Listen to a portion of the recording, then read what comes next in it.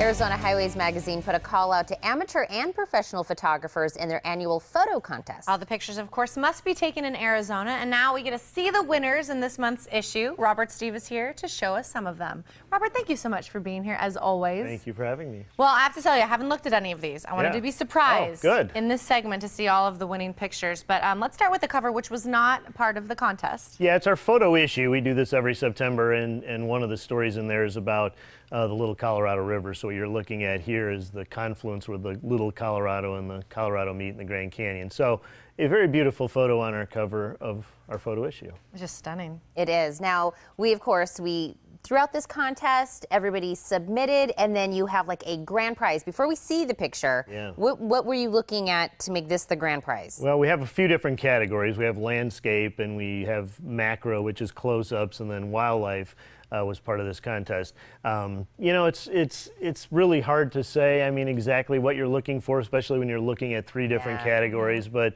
you know, we have a, a panel and it's led by our photo editor who sees hundreds of thousands of images. And so I will tell you real quickly, when we started this years ago, my photo editors were aghast. They didn't think we could ever do a contest that would measure up to the stuff, and they've all admitted they were very wrong because there's some extremely talented people out there, Wow. uh, amateurs and professionals alike, and, and we get a lot of great entries. Well, let's see the, the Yeah, grand prize winner. it. Let's see.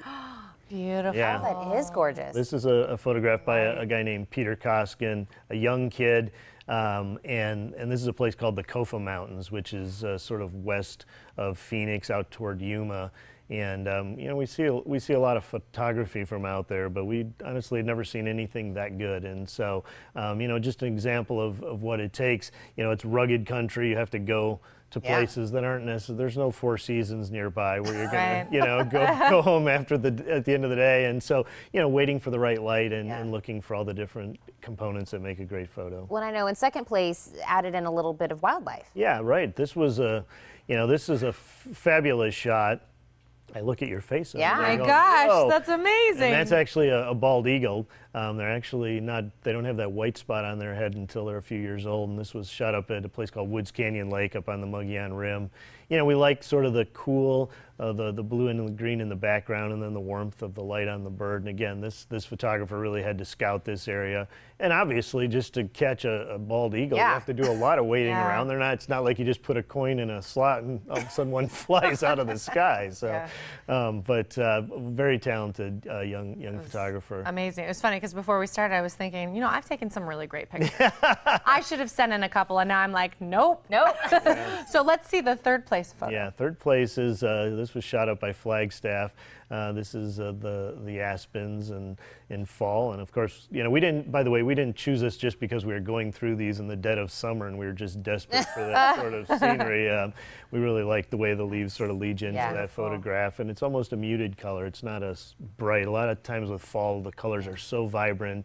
This is more muted, and that sort of struck us as, as unique and, and beautiful. and I know we have a couple of honorable mentions that we're going to show also. Yeah, this is a, a beautiful shot here. What's what's unique about this, you know, a lot of times photographers, when the sun goes down, they pack up their tripods and go away. And this photographer uh, waited till the sun was gone, used a long exposure to get enough light um, to make that photograph and, and get those beautiful flowers in that, that cactus. And another honorable mention also had uh, some, I guess, wildlife. Yeah, that's right. Yeah, well, yeah, Wow, honeybees. Uh, this was shot down by Sierra Vista, and um, again, a lot of patience. Most of the time, when we see bees attached to flowers, they're literally sitting on the flower. So this photographer, you know, made it different. And then this, you know, no Wow, photo contest in Arizona is complete without a snake somewhere. This isn't a rattlesnake; it's a, a garter snake. But just the way the diagonal line of the the snake's body uh, beneath the water kind of framed that photo, and just the simplicity and catching it right when the tongue's sticking out. They did an amazing job, and I'm taking away that patience is what it takes to be that, that great photographer. We can't wait to see the entire issue. Robert, we always love it when you come on. Love it. Thanks for We can't wait to see what next month brings. And you can see more by subscribing to Arizona Highways Magazine. Just call 1 800 543 5432 or go online to ArizonaHighways.com.